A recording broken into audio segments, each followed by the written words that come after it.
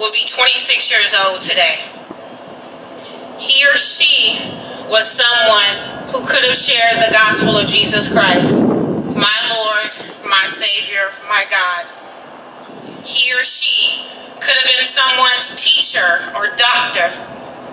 He or she could have been someone's husband or wife.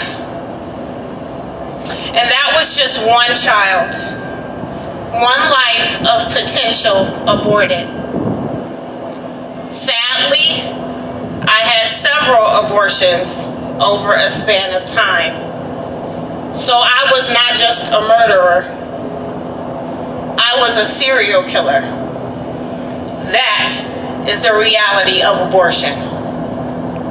Many of us know the statistics, right?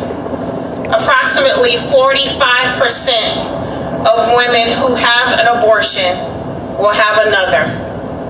That was me. That as an African American woman, while making up only 37% of Georgia's population of women from the ages of 15 to 44, a staggering 61% of women have abortions who are black women, just like me. That the most unsafe place for my children was in my womb. I helped the numbers we pray and mourn about today. That is the reality of abortion. I was a woman who was broken, I was selfish, I lacked discipline. I lacked self-control. I was in and out of broken relationships um, because I lacked self-worth. As a child, I was even told by my own mother that she wanted to abort me because I was a product of an abusive man that she hated. All these things factored into me seeking love and validation in places that can only be filled by the true and living God. Now, I'm not making excuses for the sins that I willingly chose to do, the lives I took. I'm sharing the reality of brokenness in my life at that time.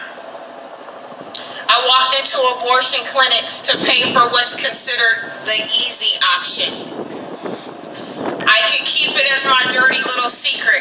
I just went and handled the situation. I always knew that abortion wasn't the right thing to do. It never set well in my heart. But after each abortion, my heart grew colder and colder, making it easy to have another. And that's exactly what abortion is designed to do. I had the surgical abortion where each baby was ripped out of my room through suction, lying in the bed in the cold clinical room I would see the surgical instruments lying on the instrument tray. And then the machine was sitting at the back of the bed where those babies' lives were sucked into. Then I had the medical abortion, which is the abortion pill RU 480, uh, 486 that I obtained from a Planned Parenthood right here in Georgia. Now, at the time that I had the medical abortion, I it because it's advertised as the easier and less invasive option. Little did I know that I would feel the baby pass while I was at home alone going through that process. And I know and I believe in my heart because the Lord told me that it was a little girl. I flushed her down the toilet. After that, I went into major guilt and depression. I could visualize over and over again that baby girl going down the drain. I ended up trying to take my own life because of that guilt and that shame.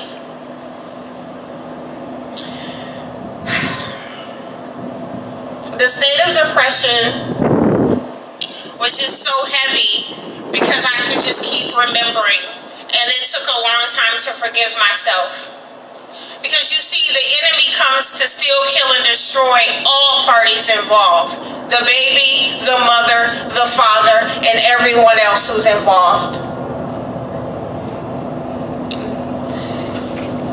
And I can tell you, every place I went to, not just the Planned Parenthood facility, all the waiting rooms were packed, and most people were African American like me or Hispanic. That is the reality of abortion. At any point in time, I could have died on those abortion tables, or I could have bled to death on my bathroom floor while I was home alone by myself going through the process of that abortion pill. But Jesus had other plans for my life. And today, my message, my mess is a message for all of you.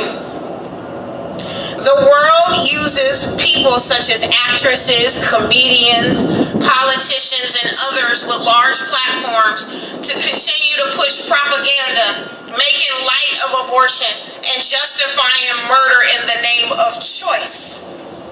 Justifying murder because a person is inconvenient or unwanted. It is pure evil. Despite the lies that are no one benefits or prospers by taking the life of any baby, no matter how the baby is conceived. My life is not better because I had an abortion. I squandered God's gift. And today I stand in my mid 40s with that, that um, opportunity of having children by birth having passed. Had I personally made better choices with my life, then abortion wouldn't have been an option. And it took years to get past the guilt and shame of what I did. That is the reality of abortion. So we are gathered in action today through remembrance and prayer to fight this evil. And I want to say, if there's any woman who is here right now or who may see this later and is contemplating abortion, the Lord had me come here today to give you a message from Him saying, Do not do it. Let him or her live. The baby you are carrying is a blessing. Don't allow the enemy to deceive and distort you the way that he did me and have you choose abortion. Muster up enough faith. Just a mustard seed will do. And allow the Lord to be God personally in your life. No child is a mistake to God. And you're not alone. I have felt that way before.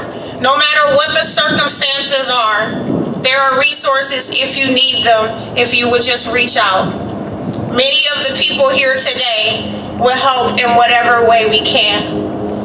And for anyone in the audience or who may listen later who is still carrying the weight the guilt, the shame and remorse of abortion, be it the woman if you have one abortion or if you have multiple, be it the man who coerced or pushed the woman to have an abortion, or the man who didn't want the abortion and you're still angry and, and, and bitter at the woman who chose to do it, or the parent who coerced or pushed their child to have an abortion or the person who contributed by driving the woman to the clinic or paying for the abortion.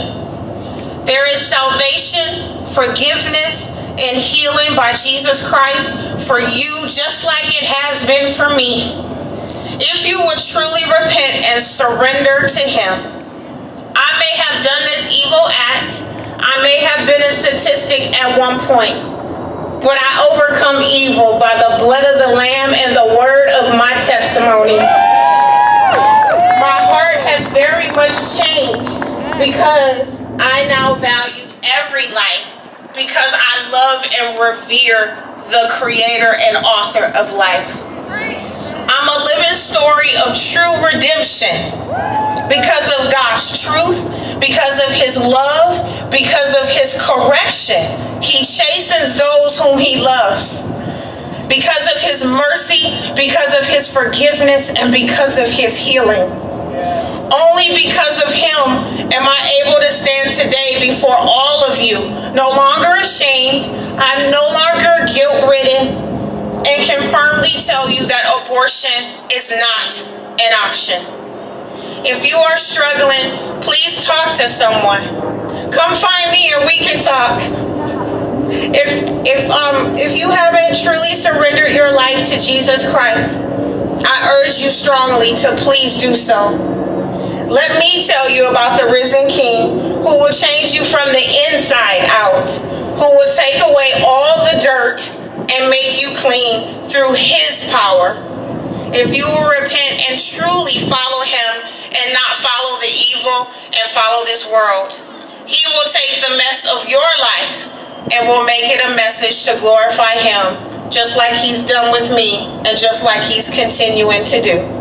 Thank you for listening.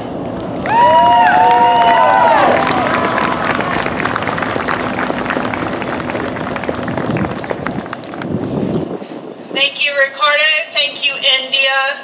And thank you, everyone, for being here today. I'd like to introduce Pastor Kevin Medcalf.